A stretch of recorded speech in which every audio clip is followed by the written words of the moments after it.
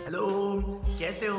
आज हमारा Sunday school syllabus 11 तो चलिए हम देखेंगे।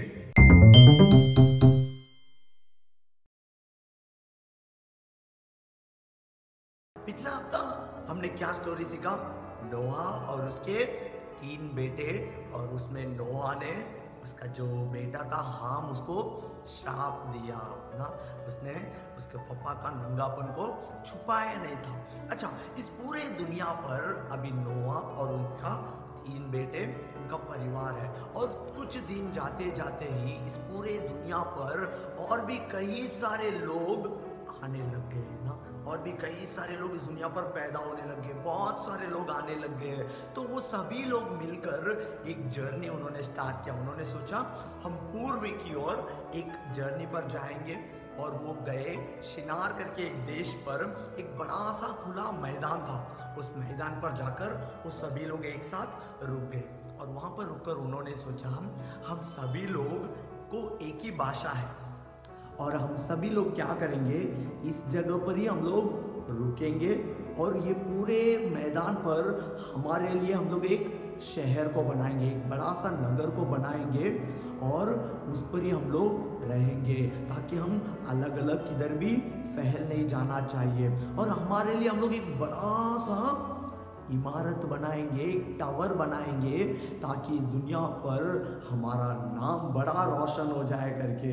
उन्होंने सोचा, पता है आपको गॉड ने जब नोआ को प्रॉमिस किया था तो परमेश्वर बोले थे, आप फूलो, फैलो और इस पूरा दुनिया पर आप भर जाओ। ऐसा करके परमेश्वर ने नोहा को प्रॉमिस किया था। मगर ये लोगों ने क्या सोचा कि हम लोग इसी मैदान पे हमारे लिए एक नगर बनाएँगे और वहाँ पर ही रहेंगे ताकि हम लोग अलग अलग नहीं जाना चाहिए। ऐसा करके उन्होंने सोचा, मगर परमेश्वर का इच्छा क्या था? कि पूरा दुनिया पर फैलना चाहिए। बट उन्होंने क्या सोचा? हम लोग इधर ही रहेंगे, इतने जगह पर ही हम लोग रहेंगे। और परमेश्वर ने वो जो शहर बनाने का वाला था, वो परमेश्वर आकर देखने वाले थे। उन्होंने शहर बनाना शुरू कर दिया। उनके पास ईटा था, उनके पास मट्टी थी। तो उन्होंने सोचा, अभी हम लोग शहर बना लेंगे खुद ही। और उन्होंने शहर बनाने को भी शुरू कर दिया। और उन्होंने सोचा, अभी हमें ये शहर बनाने से, ये बड़ा सा टावर बनाने से हमें कोई नहीं रोक सकता। हाँ उन्होंने सोचा, हमें कोई भी नहीं रोक सकता अभी ये बनाने से। परमेश्वर को तो सब चीज़ पता रहता है और परमेश्वर ऊपर से आए देखने के लिए कि ये लोग क्या कर रहे हैं। तभी परमेश्वर ने देखा, ये पूरे लोग जितने लोग हैं लोग एक जगह पर है और वो सभी लोगों का एक ही भाषा था। उस जमाने में वो लोग का एक ही भाषा था। सब लोगों का एक कॉमन लैंग्वेज था। और तभी परमेश्वर ने देखा, ये लोग नगर बनाने को भी शुरू कर दिए। अभी उन्होंने सोच भी लिया कि उनको कोई भी नहीं रोक सकता है। परमेश्वर ने क्या किया? परमेश्वर का इच्छा पूरा करने के लिए परमेश्वर वहाँ पर उतरे और वो सभी लोगों का भाषा को अलग अलग अलग अलग कर दिया। आज हम लोग देखते हैं ना, हमारे पूरे भारत में, पूरे दुनिया पर काफ़ी सारे भाषा है। इंग्लिश है, हिंदी है, मराठी है, तमिल है, तेलुगु है, कन्नड़ा है, गुजराती है, ऐसे कई सारे भाषा है। और परमेश्वर ने उस जगह पर वो सभी लोगों का भाषा को अलग कर दिया। ताकि एक दूसरे को भाषा जो बोल रहे वो समझ में ही नहीं आया। और सबका भाषा परमेश्वर ने अलग किया और वो जगह से परमेश्वर ने उनको एक एक जगह पर अलग अलग अलग अलग कर दिया। और उस जगह का नाम रखा बाबिलोन। क्या नाम रखा?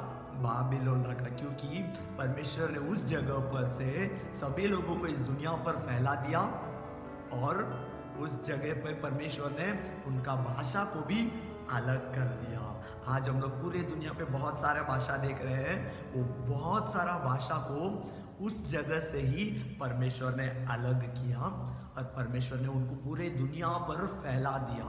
परमेश्वर का इच्छा हमेशा बड़ा रहता है। बच्चों, याद रखो, हमारा जो इच्छा रहता है, वो हमेशा छोटा रहता है। हम छोटे चीज़ों को ही सोचते हैं, मगर जो परमेश्वर ने हमारे लिए जो सोच के रखा है, वो बहुत बड़ा रहता है। तो हमेशा परमेश्वर का इच्छा को हमें पूरा करने के लिए सोचना ज़रूरी है। हमारे हमारे लिए इच्छा रहेगा कि मैं डॉक्टर बन जाऊँ, मैं इंजीनियरिंग बनूं, मगर परमेश्वर का इच्छा हमारे लिए उससे भी बड़ी चीज़ है। तो हमें क्या करना चाहिए? सबसे पहले परमेश्वर का इच्छा को ढूंढना ज़रूरी है। तो इस चीज़ से हम यही सीख सकते हैं, हम जो भी सोचते हैं हमारे लिए, वो अच्छा रहता है। मगर परमेश्वर का इच्छा उससे भी ज़्यादा अच्छा रहता है और हमारे लिए बहुत बड़ा रहता है। तो बच्चों, याद रखो, हमारे जीवन में हमें सबसे पहले परमेश्वर की इच्छा के लिए प्रायोरिटी देना ज़रूरी है। अभी हम लोग एक सुंदर सा वचन देखेंगे।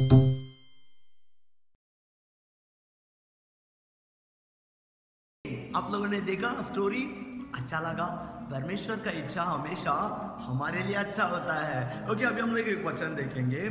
भजन संगीता बत्तीसवा अध्याय, उसका आठवां वचन पे लिखा है, मैं तुझे बुद्धि दूँगा और जिस मार्ग में तुझे चलना होगा, उसमें तेरी अगुवाई करूँगा। परमेश्वर हमें क्या देगा? बुद्धि देगा। क्योंकि हमारा नॉलेज बहुत छोटा है। मगर परमेश्वर हमें नॉलेज देगा, बुद्धि देगा और हमें जो मार्ग पे, जो रास्ते पे चलना है, हमारी अगुवाई भी करेगा। हम एक बार फिर पढ़ेंगे भजन संगीता, बत्तीसवा अध्याय, आठवां वचन। मैं तुझे बुद्धि दूँगा और जिस मार्ग में तुझे चलना होगा, उसमें तेरी अगुवाई करूँगा। तो बच्चों, याद रखो, परमेश्वर हमें बुद्धि भी देता है और इस दुनिया पर जो रास्ते पर चलना है हमें अगुवाई भी करता है तो हमें परमेश्वर की इच्छा को प्रार्थना के द्वारा पूछना ज़रूरी है। ओके बच्चों बाय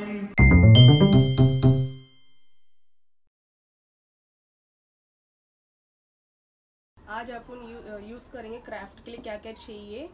क्राफ्ट के लिए क्या क्या ज़रूरत है वो अपन देख लेंगे अभी। एक पेपर ब्लैंक शीट चाहिए और एक सीज़र पेंसिल और स्केल ठीक है, अभी क्राफ्ट करने के लिए तैयार हो। चलो देखेंगे अभी। आज अपन ये जो ए फोर साइज़ पेपर को ऐसे फोल्ड करना चाहिए। मिडल एकदम मिडल पार्ट को अपन अच्छे से फोल्ड करेंगे तो फिर अपने को क्राफ्ट एकदम बहुत अच्छा आएगा। ये हो गया, फिर अभी स्टार्ट करेंगे अभी। फ़र्स्ट जो है, वो स्टेप्स करेंगे अभी अपन। इसमें क्या करना है, ये जो है ना स्केल में, जो ये फ़र्स्ट सीएम से लेके और इधर सेकेंड तो इसमें एक पॉइंट रख के फिर इधर से, फिर इधर से कैसे इधर 130 1.5 ऐसा एक लाइन डाल देंगे आप।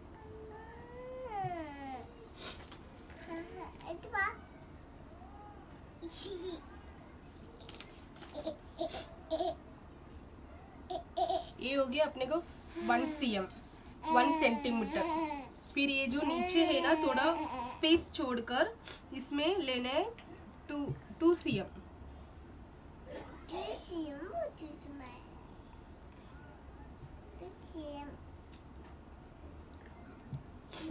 same ही है. इधर कैसा one two one point five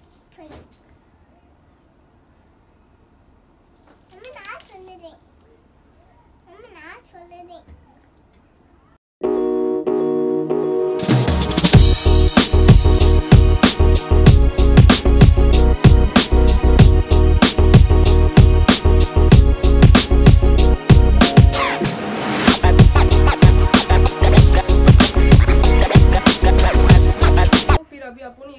steps वगैरह अच्छे से कर लिए। अभी जो ये ब्लैंक है ना, इसमें पूरा अपन स्टोन्स वगैरह कुछ आर्ट कर सकते मेन इसमें स्टोन्स करेगा तो और भी बहुत अच्छा लगेगा। तो अपन स्टोन्स करेंगे, अभी चलो करेंगे।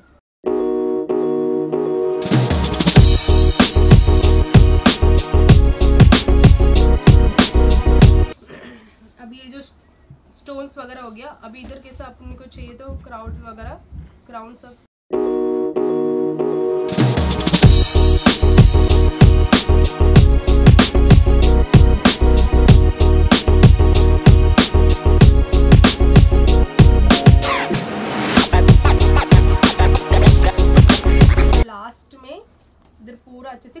कर देंगे। कलरिंग करने के बाद ना, ये जो है ना, ये पेपर्स को उल्टा फोल्ड करना है। उल्टा फोल्ड करके, ये जो है ना मिडल वाला, इतना कलरिंग से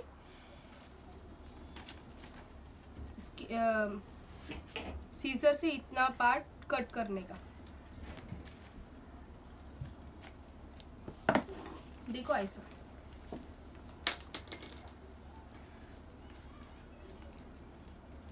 सिक्स तक अपने को ऐसे ही कट करना चाहिए। खाली वो बॉक्स को ही ये साइड नहीं कट करना चाहिए, नहीं तो पूरा निकल जाएगा।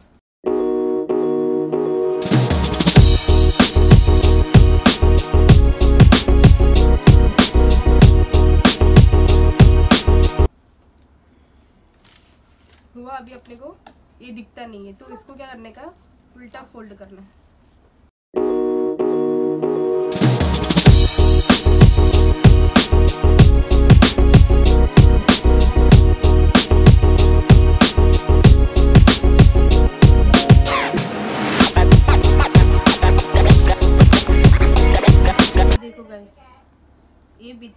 कलर है देखो, जो आया स्टेप्स वगैरह, ये विदाउट कलर वाला है। एक कलरफुल कलर करने के बाद इतना अच्छे से खूबसूरत बन जाएगा।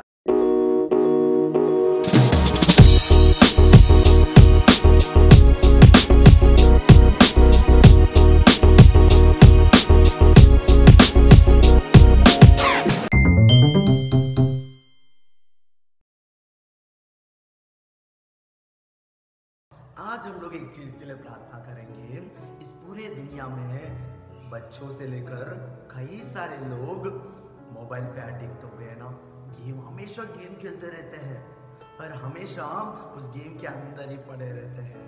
वो परमेश्वर की इच्छा को जान नहीं पाते हैं। शैतान उन्हें उस गेम के अंदर ही फंसा कर रखा है। आज हमने वही स्टोरी देखा कि हमें परमेश्वर की इच्छा को जानना ज़रूरी है। तो जितने भी बच्चे या जितने भी लोग हमारे देश में ऐसे मोबाइल के लिए या वीडियो गेम के लिए एडिक्ट हो गए हैं, वो सभी लोग उससे बाहर आना चाहिए और परमेश्वर की इच्छा को जानना है करके आइए हम प्रार्थना करेंगे। सभी लोग अपना हाथ जोड़ेंगे और मेरे साथ आप भी प्रार्थना करना। ये प्यारे यीशु मसीह, आज के दिन के लिए हम धन्यवाद देते हैं और हम प्रार्थना करते हैं हमारे पूरे देश में जितने भी लोग मोबाइल पे या वीडियो गेम पे एडिक्ट हो गए हैं बहुत सारा समय उसी पे बिताते हैं। वो उनका काम नहीं कर पाते हैं और आपका इच्छा को भी वो जान नहीं पाते हैं। उन लोगों के लिए हम प्रार्थना करते हैं, वो एडिक्शन से वे लोग बाहर आए और आपकी इच्छा को वे लोग जानने के लिए आप उन्हें सहायता करना, आप उन्हें जो रास्ते पर चलना वो रास्ता बताने के लिए, हम उस सभी बच्चों के लिए और सभी लोगों के लिए प्रार्थना करते हैं, जो एडिक्टेड है मोबाइल्स पे और वीडियो गेम पे। आप उनका जीवन को भी आशीष करना और उन्हें भी आप अगुवाई करना। इस छोटी सी प्रार्थना को यीशु के नाम से मांगते हैं, आमेन। अच्छा आपने आपने देखा आज का सिलेबस आपको अच्छा लगा? स्टोरी क्राफ्ट बहुत अच्छा लगा ना? और हमने प्रार्थना भी किया, हमारे पूरे देश में जितने भी एडिक्टेड हैं, वो लोग उससे बाहर आना है करके।